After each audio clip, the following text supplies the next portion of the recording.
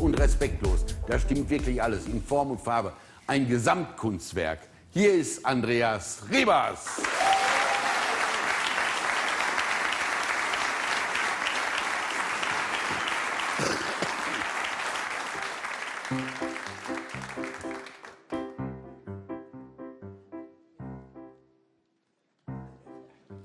Liebe unterm Hirschgeweih, heute mal zu dritt.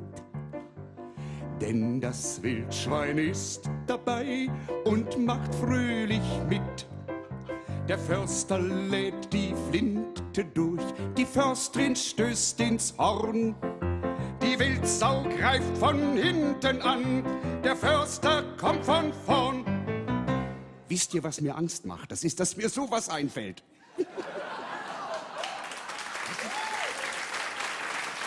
Das ist das. Und äh, äh, was das, das Schlimmste ist, dass euch das gefällt.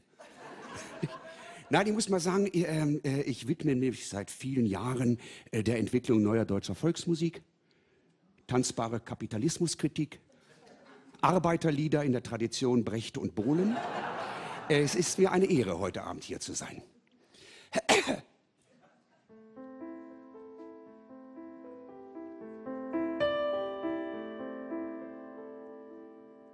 Schneeglöckchen läuten in samengeschwängerter Luft.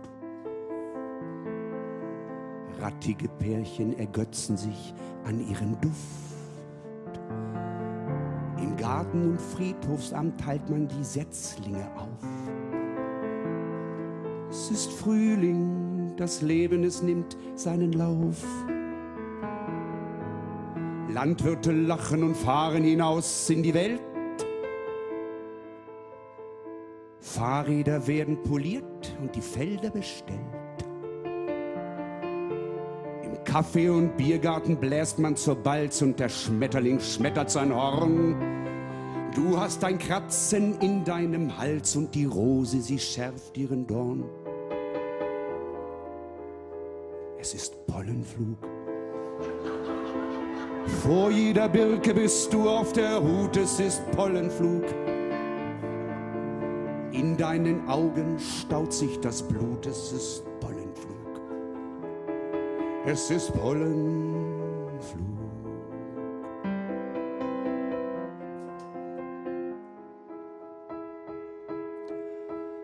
Krankenversicherer machen sich auf und davon. Die Nachbarin sonnt sich versonnen auf ihrem Balkon. Zärtlich trägt sie sich die Sonnenmilch auf, jeder Atemzug wird dir zum Stich. Für die Liebe siehst du viel zu schweinzeugig aus. Frag nicht so blöde, warum gerade ich? Es ist Pollenflug. Endlose Schlangen im Krankenhausflur, es ist Pollenflug. Nur eine Laune verspielter Natur, es ist Pollenflug, es ist Pollenflug, es ist Pollenflug. Dein Allergologe erwartet dich schon.